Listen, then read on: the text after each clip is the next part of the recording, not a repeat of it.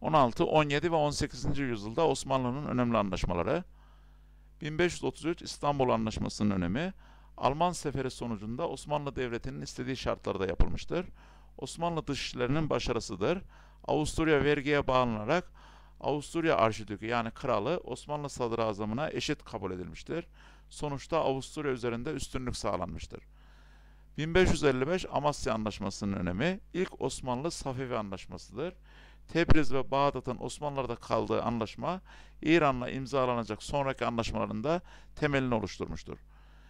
1590 Ferhat Paşa Anlaşması Safeviler Osmanlı üstünlüğünü tanımıştır.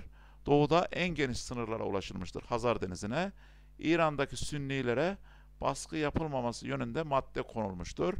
Şah 1. Abbas Osmanlı ordusunu örnek alarak daimi bir askeri birlikler kurmuş ve ateşli silahlarla desteklemiştir ordusunu. 1606 Zitvatorok Antlaşması Burada Osmanlı Devleti'nin Avusturya üzerinde üstünlüğünü kaybettiğini görmekteyiz. Daha önce e, 1533 İstanbul Anlaşması'yla e, Osmanlı Sadrazamına eşit sayılan Avusturya Arşidükü artık Sezar ünvanını kullanacaktır ve Osmanlı Padişahına eşit sayılacaktır. Ayrıca Osmanlı Habsburglardan yani Almanlardan Avusturyalılardan aldığı vergilerden vazgeçecektir. Özellikle Avusturya'dan ve Macaristan'dan aldığı vergiden vazgeçecektir. Yeni savaş teknolojisini kullanan Avusturya karşısında eski usulle savaşan tımarlı sipahilerin yetersizliği Osmanlı'yı Anadolu'da tüfek kullanabilen Sekban askeri toplamaya itmiştir. Osmanlı dışarıda Safeviler ve Avusturya, içeride Celali isyanları ile uğraşmaktadır. Bu nedenle de uzun süreli planlar yerine günü kurtarmaya yönelik politikalar üretecektir. Ve görüşmelerde, diplomatik görüşmelerde, barış görüşmelerinde diplomaside mütekabiliyet esasını gözetecektir. Yani devletin, Osmanlı Devleti'nin gücü ya da uluslararası ilişkilerde başarı ölçüsünde görüşmeler yapacaktır. Sınırları belirleyen anlaşma Kasr-ı Şirin Anlaşması 1639. Bu da Safevilerle yani İran'la yapılmıştır. 4. Murat döneminde. Bağdat geri alınmıştır. Bugünkü Türk-İran sınırı belirlenmiştir. İran'la sonraki anlaşmalarda bu uygulanıyor. Örnek Kerden Anlaşması gibi. Böylece 1578'den beri İran'la süren 61 yıllık savaşlar sona ermiştir. Ayrıca ticari yasaklar kaldırılmış, İpek ve baharat yolu canlanmıştır. Bucaş Anlaşması 1672, Ferhat Paşa Anlaşması'nın tersidir. Burada e, Osmanlı batıda top, batıda en geniş sınırlara ulaşmıştır ve batıda toprak kazandığı son anlaşmadır. Lehistan'la yapılmıştır. Çehrin Bahçesaray Anlaşması 1681'de Rusya ile yapılan ilk anlaşmadır. Ruslara ticaret hakkı tanınmıştır. Bu durum Rusya'nın güçlenmeye başladığı ve Osmanlı tarafından tanındığını göstermektedir. 1699 Karlofça Anlaşması Osmanlı ilk defa yabancı devletlerin İngiltere ve Hollanda'nın ara buluculuğunu kabul etmiştir ve ilk defa görüşmeler yoluyla yani müzakereler yoluyla anlaşma yapıyor. Ee, daha önce Osmanlı hiçbir devleti kendisiyle eşit görmemiş, görmeyerek anlaşmaları belirleyen taraftır. Burada Osmanlı itibar kaybetmiştir ve gerileme devri başlamıştır Osmanlı için. İlk büyük toprak kaybı yaşayan Osmanlı artık denge siyaseti izleyecektir ve kaybettiği toprakları almaya çalışacaktır. Osmanlı artık Avrupalar için tehlikeli değildir. 1700 İstanbul Anlaşması Rus temsilci yetkili olmadığı için Karlofça Anlaşması'nı imzalamamıştır. Bu nedenle 1700'de Rusya ile İstanbul Anlaşması yapılmıştır. Rusya'ya Karadeniz kıyısındaki Azak Kalesi bırakılmış. Ruslar İstanbul'da elçi bulunduracaklar. Böylece Rusya Azak Kalesi'ni alarak ilk defa Karadeniz'e çıkacaktır.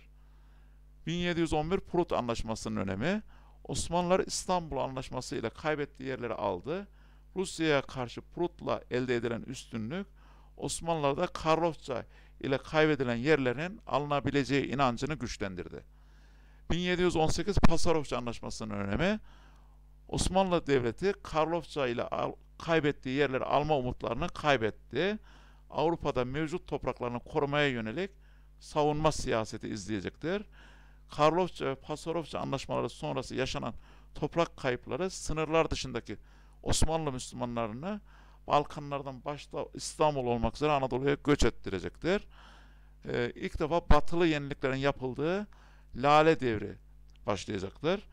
E, Avusturya ile yapılan bir anlaşmadır. 1718-1730 arasında Lale Devri denilen batılı yeniliklerin yapıldığı bir döneme girilecektir Osmanlı'da.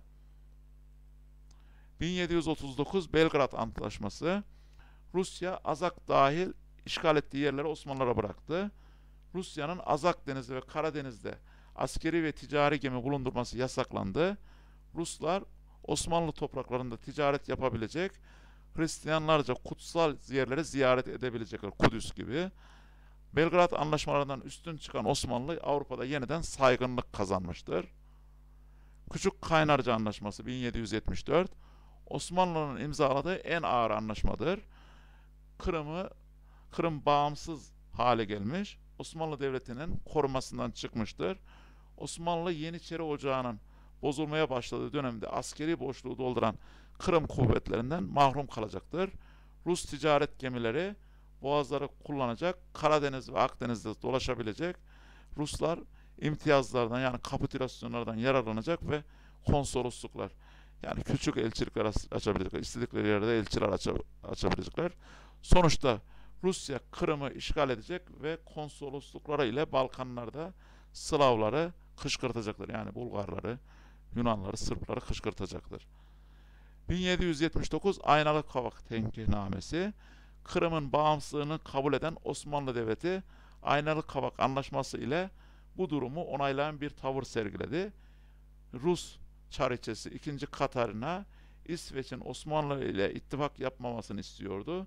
1783 yılında Rusya en sonunda Kırım'ı topraklarına kattı yani ilhak etti. Küçük Kaynarca Anlaşması'nın şartları burada kabul edilmiştir. Aynal Kavak Tenkihnamesi'nde. 1791 Ziştobi Antlaşması Osmanlılar Viyana'ya büyükelçi göndermiştir. Kanuni döneminde başlamış olan Osmanlı-Avusturya savaşları bu anlaşmayla son bulmuştur. Bu anlaşmadan sonra Rusya yalnız kalmış. Bu nedenle Osmanlı Devleti ile 1792'de Yaş Anlaşması imzalamıştı. Yaş Anlaşması'nı imzalamıştır. Bu anlaşmadan sonra Osmanlı ile Avusturya arasında Birinci Dünya Savaşı'ndan sonraki yıkılışına kadar, yıkılışlarına kadar hiçbir savaş olmamıştır. Yani Osmanlı ile Avusturya arasındaki savaşlar 1791 Zistovi Anlaşması'yla sona ermiştir. Anlaşmanın yapılma nedenleri Fransa'nın askeri tehdidi ve Fransız ihtilali ile gelen milliyetçiliğin et, Osmanlı ve Avusturya üzerindeki ya da imparatorluk üzerindeki yıkıcı etkisidir. Yaş Anlaşması 1792 Osmanlı'da dağılma ve çöküş dönemi başlamıştır. Kırım'ın Rus hakimiyetine geçtiği onaylanmıştır. Avusturya'nın savaştan çekilmesinin ardından yalnız kalan Rusya barış istemiş ve onun Rusya ile yapılan anlaşmadır. Biraz önce de bahsettik.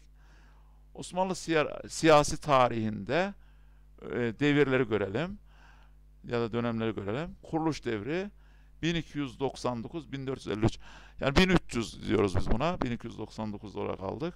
Yükselme devri 1453-1579 e, duraklama devri 1579-1683 gerileme devri 1699-1792 dağılma ve yıkılış 1792-1918 e, şu tekrarlayalım. Kuruluş dönemi 1300'den e, başlamış. İstanbul fethine kadar sürmüştür. Yükselme devri İstanbul'un fethin, fethinden Kanuni döneminin sonlarına kadar duraklama devri e, Kanuni yani Sokullu dönemi ya da Kanuni döneminin sonlarından ikinci Viyana yeni bozgununa kadardır. E, gerileme devri Karlofça Antlaşması'ndan itibaren e, ve daha sonra dağılma ve yıkılış devrini görüyoruz 1918'e kadar. Fetret devri de görelim. Fetret devri de 1402 Ankara yenilgisi sonucunda başlamış ve Yıldırım Bayezid'in oğulları arasında 11 yıl süren taht kavgaları sonucunda 1413'te sona ermiştir. Çelebi Mehmet Osmanlı Devleti'nin başına geçmiştir.